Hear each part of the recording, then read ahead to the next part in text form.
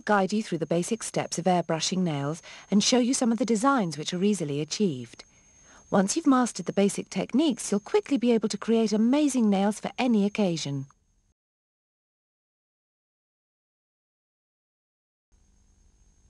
Single colour airbrushing. We'll first show you how to airbrush your nails using a single colour. Your nails must be clean and dry. A quick wipe with nail varnish remover will also ensure the nails are clean and free of oils. Airbrushing does not adhere well to the natural nail surface.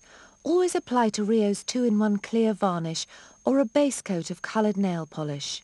Wait for the base coat to dry completely before using the airbrush. Jet through some colour and check you're getting a fine spray. When airbrushing, it's a good idea to work on just one hand at a time. With your hand on a surface, move the airbrush over each nail from approximately 6 centimetres away. Continue until all the nails are covered lightly. Ensure that you're spraying onto the edges of the nails as well as on the top surface. Allow to dry and repeat to build up the strength of colour. The colour will appear matte when dry, Apply the colour in thin layers to achieve a good finish. After spraying, drop the nozzles and tubes in water to soak. Now seal with a top coat of 2-in-1 varnish. The airbrushed colour will wash away from any areas which are not sealed. Be careful to top coat the whole nail surface. To protect your colour from chipping, always cap the free edge. Do this by brushing across the end of the nail with 2-in-1 varnish. After the first top coat is dried, always apply a second coat and allow to dry thoroughly. Wait at least 30 minutes for the second application of top coat to dry and then wash hands in warm water to remove the colour overspray. Rub around the nail, but avoid rubbing the nail surface. Gradient nails. Choose which colours you wish to blend and either spray a base colour using the airbrush or use a coloured polish. Remember, if you're spraying a base colour with your airbrush, you'll need to apply a coat of 2-in-1 varnish first. Here we've used a silver coloured polish for the base coat. Test the airbrush for a light, even spray. Aim the colour just onto the tips of the nails and holding the airbrush 3 to 6 centimetres away, allow the spray to fade up the nail. Spray across the nails quickly. Repeat this if you wish to increase the strength of colour or to move the gradient up the nail. Nails with simple two-colour gradients look great.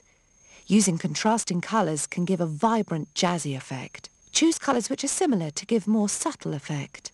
You can even use more than two colours. For our third colour, we're mixing dark blue. When mixing colours, only mix a small amount and shake well. When changing colours, use a mixing bottle with water to jet through and clear the airbrush of previous colour.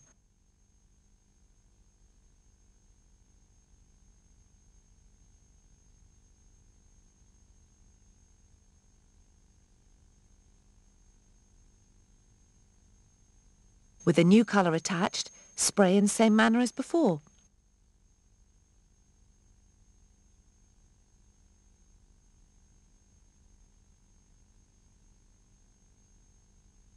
Again, protect your design with two coats of 2-in-1 varnish, remembering to cap the free edge. Allow to dry thoroughly before washing away the overspray.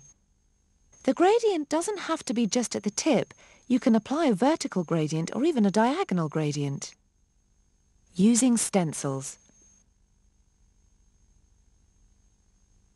One of the most exciting aspects of airbrushing is the use of stencils. Start by airbrushing a base colour or applying a base coat of polish. Each stencil has three holes to allow for different finger sizes, small, medium and large. Fit your chosen stencil into the holder and use tabs to secure.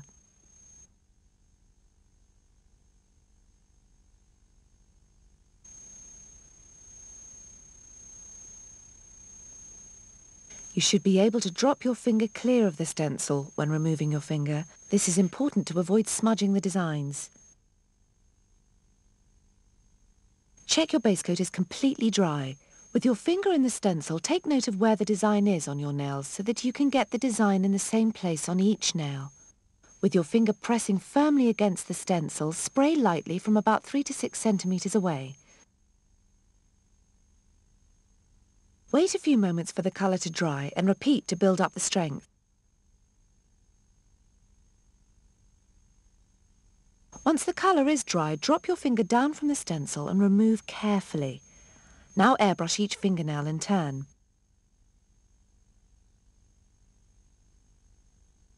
You may find it easier to have the stencil holder in your hand while working on the thumbnails. Seal your designs and wash off overspray as before. After using stencils, clean them thoroughly with nail varnish remover. All over stencil designs. Some stencil designs cover the whole nail. A good example is the leopard print. Start by applying the two-in-one varnish as a base coat and leave to dry. Mix the base colour from a little red and gold and airbrush onto the nails.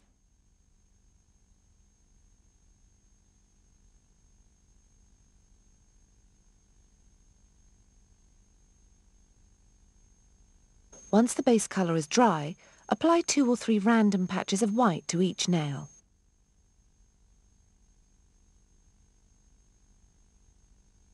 Using the leopard print stencil, push the finger up against the stencil so the design actually curves around and is in contact with the entire nail.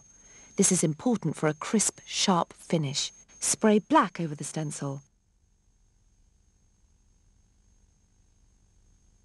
Wait for a few moments for the colour to dry and carefully release finger from the stencil. Seal the design with two coats of two-in-one and wash away the overspray as before. French tip designs. Airbrushing makes tip designs easy to do and gives fabulous results. We're going to demonstrate how to achieve the classic French polish.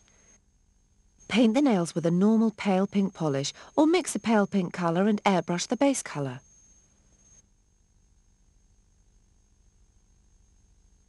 Using the French tip design, position your finger under the stencil so that the edge of the nail extends beyond the end of the stencil.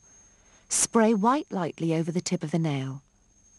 Apply more layers to build up the colour. If you want quite a natural look, don't make the white colour too strong. Wait for the paint to dry and release your finger from the stencil. Seal the design with two coats of two-in-one and wash away the excess colour. Rhinestones or glitter can be used to further enhance your designs.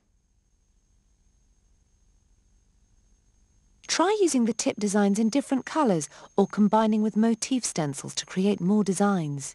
You can even use the plain tip stencil on most of the nails and just a pattern tip on one nail. To maximise the life of your designs, we recommend you reapply two-in-one varnish every day, remembering to cap the free edge each time. Alternatively, if you have the Rio UV Nails Kit, you can achieve a long-lasting protection with a UV gel treatment. Don't be afraid to experiment. Some of the best results are often the ones you discover yourself.